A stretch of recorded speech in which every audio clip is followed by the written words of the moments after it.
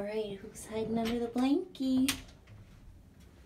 Who's under the blankie?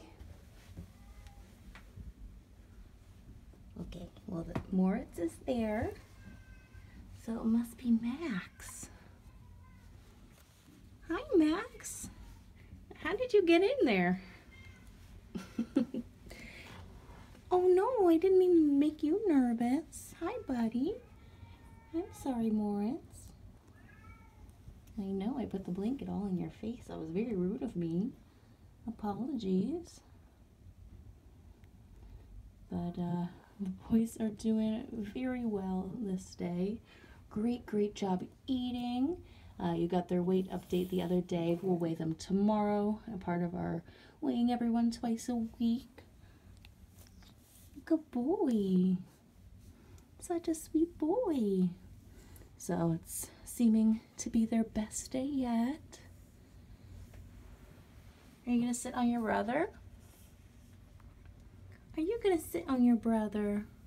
Or are you just going to cuddle him? You don't even know. you guys are so silly. So silly.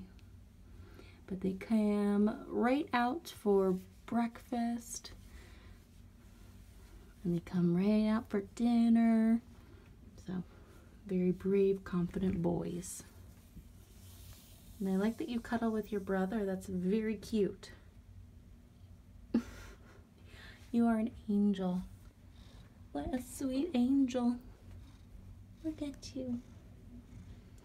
And we would say hi to Max, but uh, obviously he has buried himself pretty deep in there and uh, does not want to be disturbed. So we will let him be, but uh, good litter box use. We did see a softer stool today, so keep an eye on it, but um, shouldn't be anything more than just an occasional soft stool.